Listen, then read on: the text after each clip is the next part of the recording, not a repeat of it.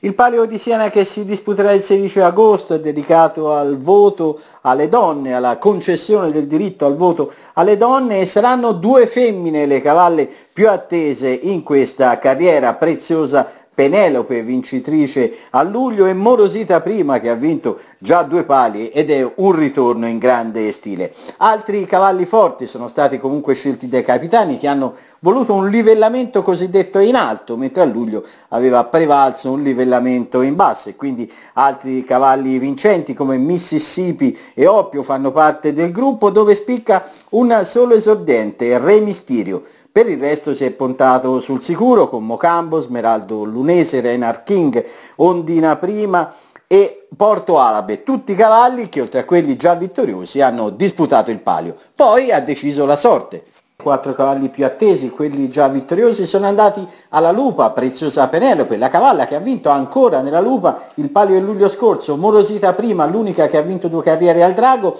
e quindi Mississippi, la Tartuca e Oppio all'Aquila. Sono un po' da comprimari tutti gli altri, Porto Alabe la Civetta, Ondina prima Pantera, Reynald King Giraffa, Smeraldo Nunese Bruco, Mocambo Nicchio e l'unico esordiente Re Mysterio a Leocorno.